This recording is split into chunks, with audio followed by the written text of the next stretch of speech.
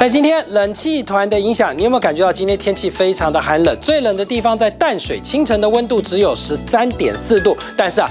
台北市区即使到了白天，温度也只有在十六度哦，整个温度在白天是完全上不去呢。那我们来看看周休假期到未来一个礼拜的天气状况，大家最关心就下周二要跨年了。这天气形态来说呢，在礼拜六的时候呢，清晨温度仍然是偏低，中部以北的低温依然在十四度左右的低温，但到了白天呢，冷空气的强度减弱了，气温的部分在周六白天会略微的上升，而到了礼拜天呢。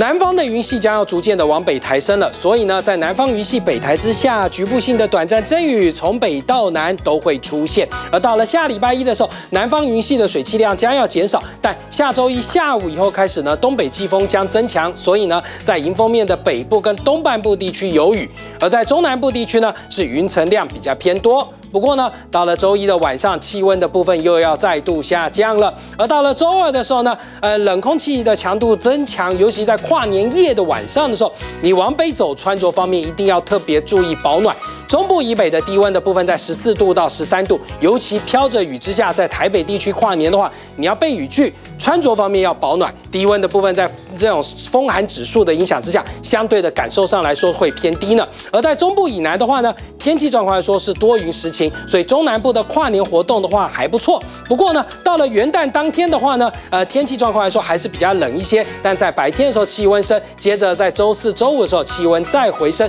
所以呢，跨年夜当天往北湿了，往南走天气晴。来看看卫星云图了，云图上面我们可以注意到。北方高压已经东移到接近上海的位置，今天晚上高压就要进入东海了，风向也要开始在明天白天变东风进来。南边的水汽有没有看到？今天已经开始上来喽，影响到南台湾了。但等到礼拜天的时候，整个上来到台湾上空，水汽量在周日当天的时候会比较增多。小叮咛，两件事情要提醒，最主要沿海风大，海边城镇骑车注意，还有外出穿着方面，天气冷，保暖工作不能少。